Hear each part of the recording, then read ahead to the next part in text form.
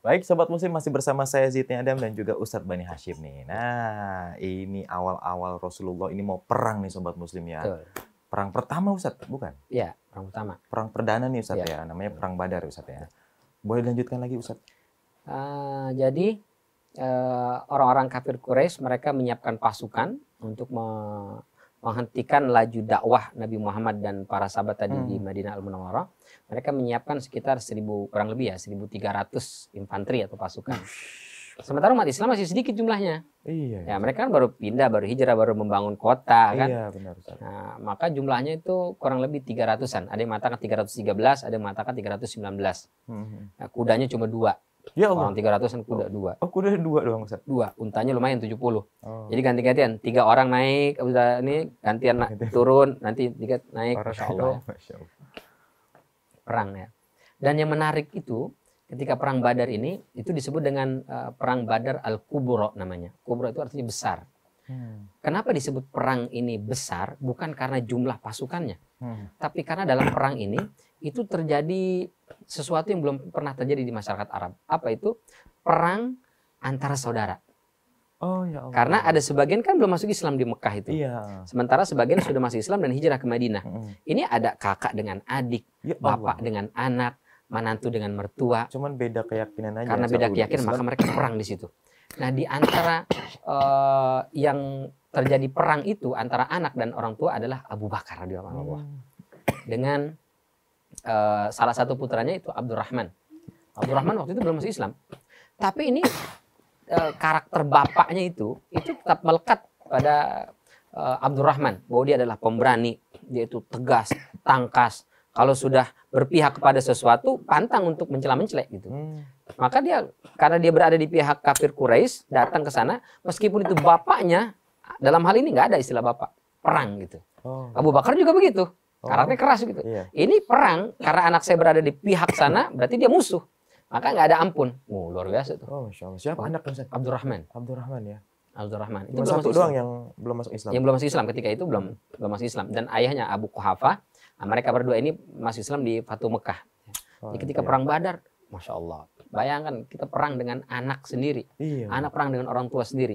Tapi itu harus dikesampingkan itu ego itu biar menunjukkan bahwa eh, saya ini sudah berada pada keyakinan yang benar bahwa Allah dan Rasulnya sudah mengisi hati saya, udah nggak ada lagi eh, istilah eh, anak keturunan nggak ada, Sebelum perang terjadi itu ada negosiasi dulu nggak sih Ustaz? nggak ada, Nggak ada ya Ustaz? nggak ada. Mereka langsung Bener-bener. nyerang, siap perang, Rasul eh, kirim mata-mata. Berapa orang mereka jumlahnya? Sekian. Nah, eh, oh dihitung. Biasanya ngitung pasukan itu lewat unta.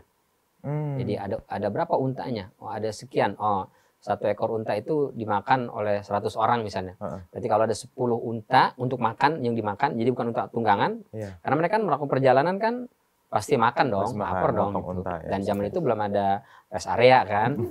jadi makannya dari mana tuh? Nah, mereka bawa tuh, bawa Iya. kambing, Oh. bawa unta. Bekalnya itu mereka, ya? bekalnya itu. Oh. Nah, mereka sembeli, masak, makan. Kalau bawa mateng, basi. Iya. Jadi dibawanya kambing sama unta itu. Nah, ngitung jumlah berapa pasukan lewat situ.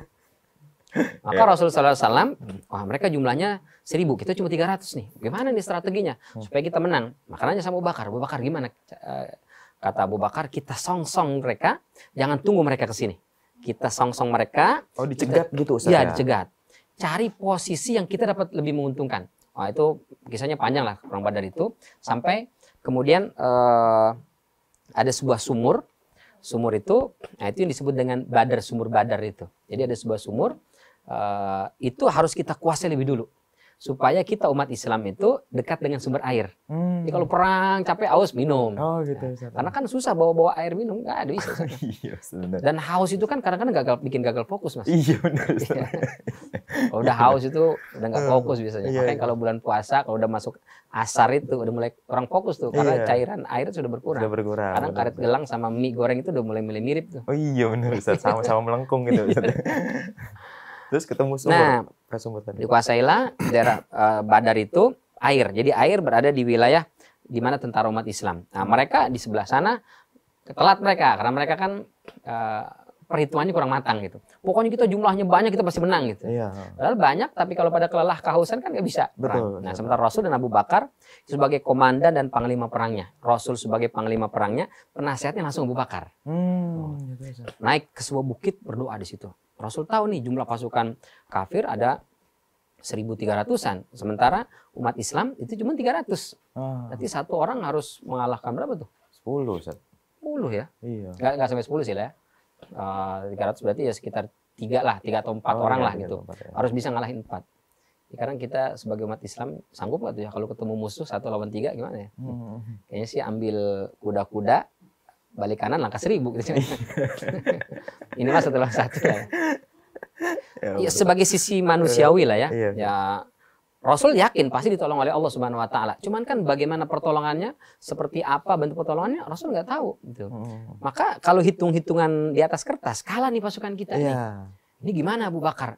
Ya, ya sudah, kita atur strategi seperti itu, selebihnya serah kepada Allah. Ya sudah, kalau begitu aku akan berdoa kepada Allah. Naik di atas sebuah bukit, berdoa, berdoa sampai ya Allah gitu. Sampai nangis-nangis. Sampai nangis-nangis. Ya Allah, kalau umat Islam sekarang kalah kami, maka engkau tidak akan pernah disembah di atas muka bumi ini. Terus begitu, terus berdoa, diulang-ulang, terus berdoa. Sampai saking khusyuknya, sorban beliau itu nggak ini, nggak nggak berasa jatuh. Oh, Jatuh, Abu Bakar ngambil, dipasangin lagi sama Abu Bakar. oh, ya Allah. Masih, dia masih berdoa Rasulullah. Ya Allah, ya Allah. Jatuh lagi, pasang lagi. Doa lagi, jatuh lagi, pasang Pasang lagi. lagi, ya. Sampai kata Abu Bakar, ya Rasul cukup. Allah pasti dengar doamu. Dan pasti dikabulkan doamu. Masya Allah. Ya Allah. Karena Abu Bakar yang ngomong, akhirnya ya sudah gitu. Saking takutnya tidak diijabah doanya oleh Allah Subhanahu Wa Taala. Hmm. Maka kata Abu Bakar, sudah ya Rasul, doamu pasti didengar oleh Allah Subhanahu Wa Taala. Maka setelah itu baru eh, mereka atur siasat lah dalam perang itu. Kemudian kata Allah Subhanahu Wa Taala, yumdid yumdidkum bi khamsati alafi minal malaikati musawwimin. Segera kami kirimkan bantuan, kami kirimkan pertolongan dengan 5000 pasukan dari kalangan malaikat Masya Allah. musawwimin.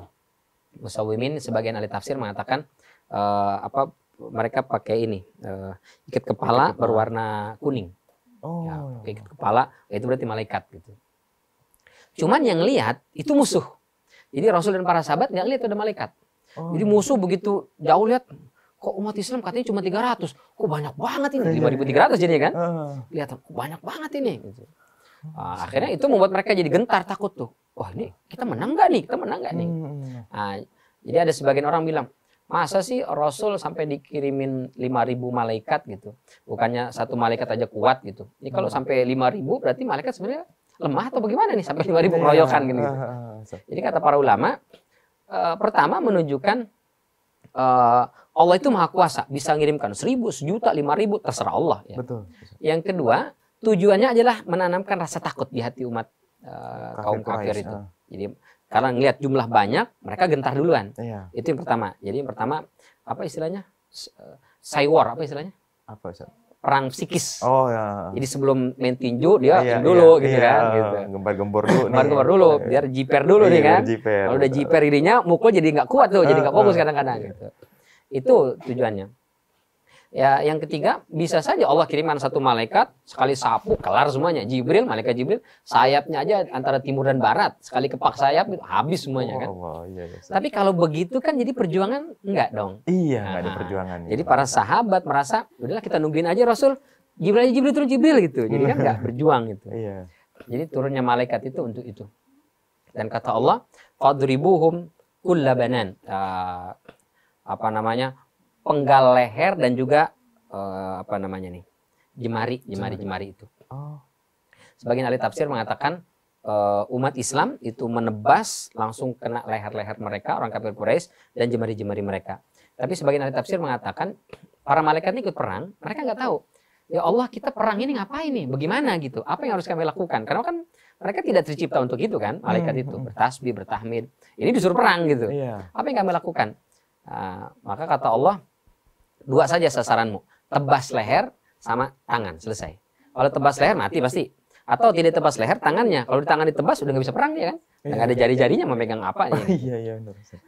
Maka kata eh, para sahabat dan juga musuh waktu itu sebelum masuk Islam, mereka bilang, kami itu nyerang tuh misalnya tiga orang nyerang satu, satu mau bacok yang satu dari depan, satu dari samping, satu dari belakang. Tiba-tiba yang samping dan belakang itu tahu-tahu lehernya terputus. Yang satu lagi tangan-tangannya putus. Oh, Mereka nggak lihat gitu. Wah luar biasa tuh. Akhirnya di depan lihat, kok ini tiba-tiba langsung putus leher nih Ah. kepalanya. Takut langsung di depan. Iya, Nah, umat Islam bisa mengalahkan mereka. Maka eh, dalam perang Badar itu eh, Rasul dan para sahabat itu menang dengan kemenangan yang gemilang. Eh, orang-orang kafir Quraisy ada sekitar 70-an yang terbunuh dan ada 70 juga yang ditawan, Oh, yang ditangkap gitu. ditangkap dan dijadikan tahanan. ya? Oh, Mas. Yang lainnya sisanya kabur. Kabur, Oh. pantang-panting, meninggalkan harta rampasan perang itu. Oh, masya Allah, Ustaz. Sebenarnya menarik banget nih Ustaz untuk didengerin lagi terus. Ya. Masih ada lagi kan Ustaz ya perang. Badar ya? Masih ada lagi ya nih. Terutama masalah tawanan itu. Masalah tawanan, tawanan masya. Allah. Tapi waktunya Ustadz yang nggak keburu ini, sobat Iya. muslim, masya Allah. Eh, kita harus berakhir sampai di sini, sobat muslim. Tapi nanti nextnya akan ada part berikutnya nih dari perang Badar ini lanjutannya nanti Ustadz ya. Baik di episode berikutnya, sobat muslim. Sobat muslim, terima kasih sudah menonton Share It dan jangan lupa yang sobat muslim tonton ini di share agar menjadikan pahala jariah untuk kita semua ya. Saya Zidni Adam, mohon pamit undur diri dan juga Ustadz Bani Hasim. Terima kasih banyak Ustadz atas ilmunya dan waktunya segala macam. Baik, saya Zidni Adam. Wabillahi taufiq wa hidayah. Wassalamualaikum warahmatullahi wabarakatuh.